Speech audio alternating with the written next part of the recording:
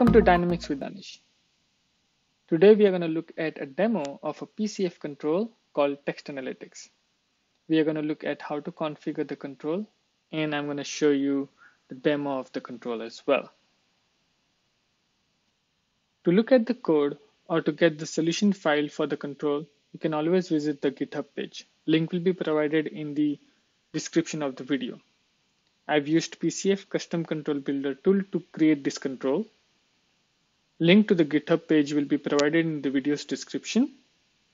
There is also a video of how to use PCF Custom Control Builder, which you can access on top right corner of this video. So let's look at the configuration first.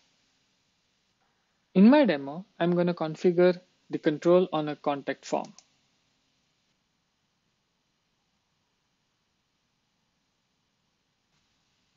On my contact form, I have two description fields, which are same.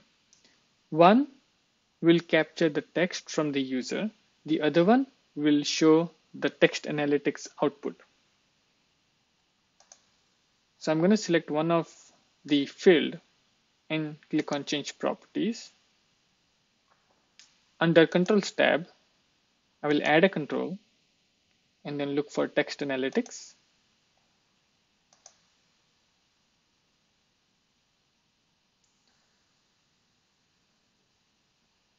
I'm going to make it available on web, phone, and tablet.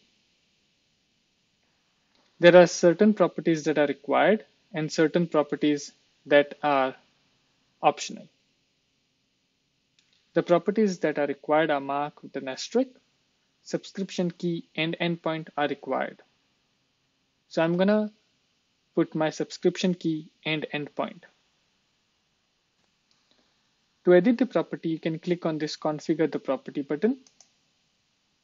And you can either use the value from, from a field or you can type in your own value, which will be a static value.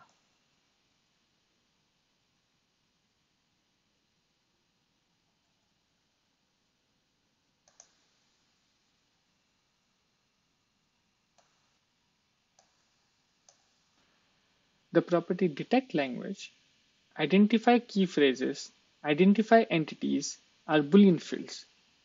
To configure them, if you click on configure property, you will have to bind them to a field or you can leave them blank.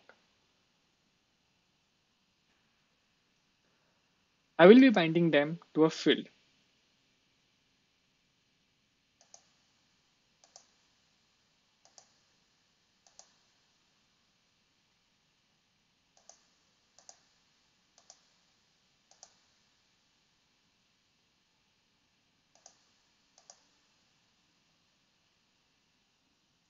So this is how my configuration looks like.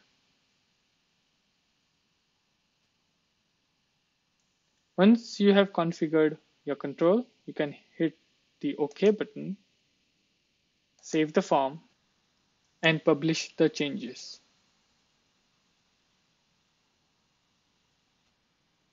Now let's look at the demo.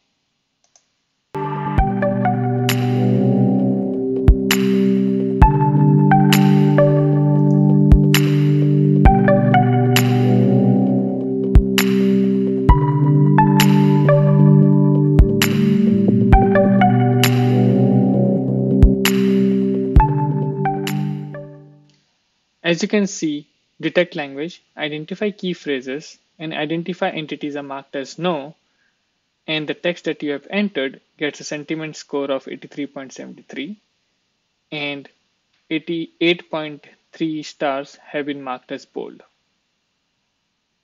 Now, to show the additional details on the custom control, if I select detect language as yes, then I would see the language of the text if I select identify key phrases as yes, then I can see the key phrases that were identified from the text analytics service.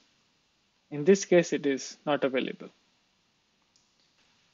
If I click on identify entities, it will identify all the entities from the text.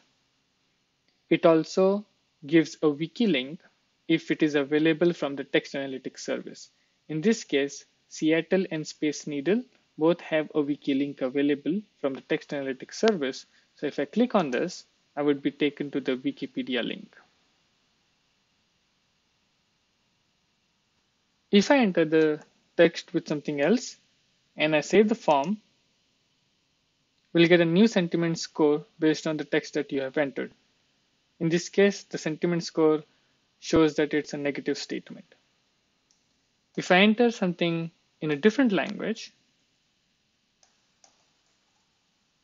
and save the form, it will detect the score as well as the language. It will also detect the key phrases and entities for that new text as well. And that's it for today, guys. Don't forget to subscribe to my channel for more content. And if you like this video, click the like button and leave a comment. Thank you.